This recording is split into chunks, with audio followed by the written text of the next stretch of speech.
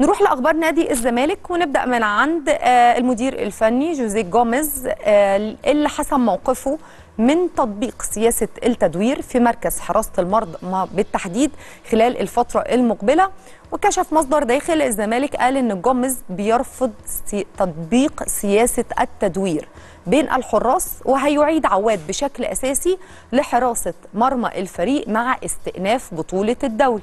عواد دلوقتي موجود مع المنتخب الوطني بيستعد لمباراتي بوركينا فاسو وغينيا بيساو في التصفيات المؤهلة. لكأس العالم كان محمد صبحي آه، شارك في مباراة الزمالك أمام الاتحاد السكندري اللي انتهت بفوز الفريق بهدفين مقابل لا شيء ولكن عن سياسة التدوير في مركز حراسة المرمى جوميز قال إن هو ما بيحبش كده ويستحب إن يبقى مركز حراسة المرمى مركز ثابت لكن سياسة التدوير ده شيء هو ما بيفضلوش. كمان من أخبار نادي الزمالك إن استعجل مسؤولي نادي الزمالك الاتحاد الأفريقي لكرة القدم إرسال باقي قيمة مكافأة فوز الفريق ببطولة كأس الكونفدرالية الأفريقية. كان الزمالك اتسلم دفعة من مستحقاته لدى الكاف بعد تتويج الفريق على حساب نهضة بركان المغربي. وبيرغب الزمالك في الاستفادة من المقابل المادي اللي هيحصل عليه من الاتحاد الأفريقي طبعا لحل أزمة مستحقات المغربي خالد بوطيب لاعب الفريق السابق وحل أزمة إيقاف القيد. الزمالك عنده أكتر من مشكلة وأكتر من أزمة خاصة بالمستحقات ولازم الفترة اللي جاية يبتدي يحلها بشكل سريع.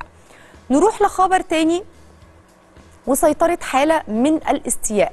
على آه، مسؤولي نادي الزمالك من إعلان نادي بيراميدز مخاطبته إدارة الزمالك للحصول على 3 مليون جنيه بعد فوز الزمالك بالكونفدرالية. ده طبعا طبقا للشروط الموجودة في آه، عقد سواء دونجا أو عمر جابر.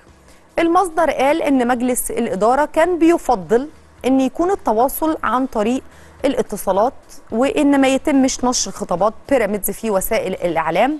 وقال كمان إن مجلس الزمالك حريص على دفع مستحقات نادي بيراميدز في الأيام القليلة المقبلة في ظل طبعا العلاقات الجيدة اللي بتربط الناديين.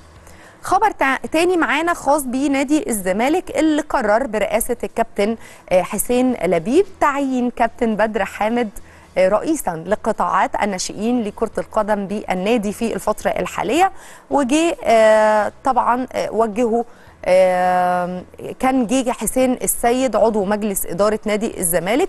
وجه الشكر لكابتن محمد حلمي رئيس قطاعات الناشئين السابق على الفترة اللي قضاها وده بعد ما كابتن محمد حلمي تقدم باعتذار عن عدم الاستمرار في منصبه وتمنى التوفيق لقطاع الناشئين الفترة اللي جاية. وطبعا الاستفادة منه دايما في أي منصب كأحد أبناء النادي المخلصين. أكد حسين السيد أنه تم عقد جلسة مع كابتن بدر حامد لوضع كافة التفاصيل والترتيبات الخاصة بقطاعات الناشئين استعدادا للموسم الجديد بالإضافة كمان للتنسيق معاه آه، فيما يخص تشكيل الأجهزة الفنية والإدارية الخاصة بفرق القطاعات. بنتمنى إن شاء الله تكون فترة موفقة لكابتن آه، بدر حامد إن شاء الله الفترة القادمة في ظل القيادة آه، قيادة قطاع الناشئين لنادي الزمالك ونشوف أسماء كتير واعدة آه، إن شاء الله نقدر أو يقدر نادي الزمالك إن هو يستفيد بيها في الفترة القادمة من أجل التصعيد طبعا للفرق الأكبر.